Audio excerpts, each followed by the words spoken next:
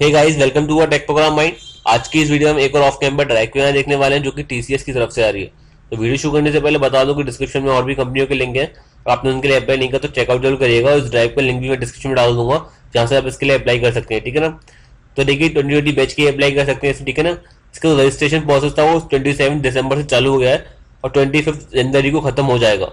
Online test आपको third of फरवरी को होने वाला है। मैं ये बता दूँगा, आपको सिर्फ़ बी एम ए वाले ही अप्लाई कर सकते हैं ट्वेंटी ट्वेंटी बैच के।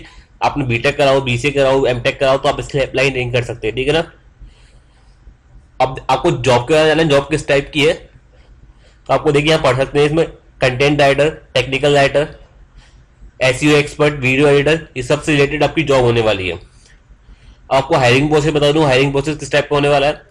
आपको हायरिंग प्रोसेस में देखिए, पहले एप्टीट्यूड का टेस्ट होगा। आप एप्टीट्यूड ऑनलाइन टेस्ट क्लियर कर लेते हैं।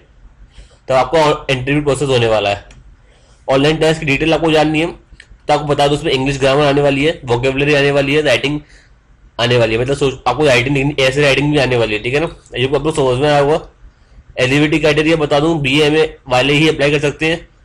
ट्वेंटी ट्वेंटी बैच के ही अप्लाई कर सकते हैं, ठीक है? फिफ्टी परसेंट आपकी थ्रू आउट होनी चाहिए टेंथ एंड ट्वेल्थ में। एंड डिप्लोमा करा दो डिप्लोमा में। सिर्फ़ एक बैकलॉग की पेंडिंग होनी चाहिए at the time of exam ठीक है? इसमें लिखा हुआ है। एक से ज़्यादा होंगी तो आप इसके एलिजिबल नहीं है गैप क्राइटेरिया ओवर आपको टू ईयर से ज़्यादा गैप क्राइटेरिया नहीं होना चाहिए, ठीक है ना? आई को आप लोग समझ में आ गया होगा। आपको अप्लाई कैसे करना है अप्लाई करने के लिए आपको क्लिक टू रजिस्टर पे क्लिक करना पड़ेगा।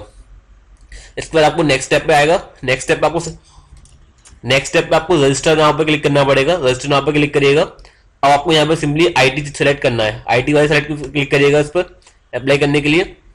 अप्लाई करने के बाद आपको न्यू पेज खुल के आएगा। आपको इस फॉर्म को फिल करना है, ठीक है? आप रजिस्टर करेंगे, वही आपको अप्लाई होगा। आपको सिंपली अपना नेम डालना है डेट ऑफ़ बर्थ डालनी जेंडर डालनी है email ID mobile number institute name जो भी आपका इंस्टीट्यूट नेम हो और क्वालिफिकेशन डालिएगा, आपने जो भी कराओ ठीक है ना? नीचे आएगा थोड़ा। पासवर्ड डालना है आपको अपना ईयर ऑफ़ पासिंग डालनी है। नियर बाई टेस्ट लोकेशन मतलब आप जहाँ भी एलिजिबल है टेस्ट देने के लिए वो डाल सकते हैं।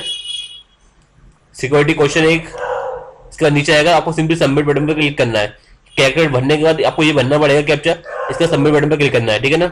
ये पे लोग समझ में आ गया होगा। अब भी कोई डाउट हो गया उनके कमेंट बॉक्स में कमेंट कर दीजिएगा, आपको रिप्लाई मिल जाएगा।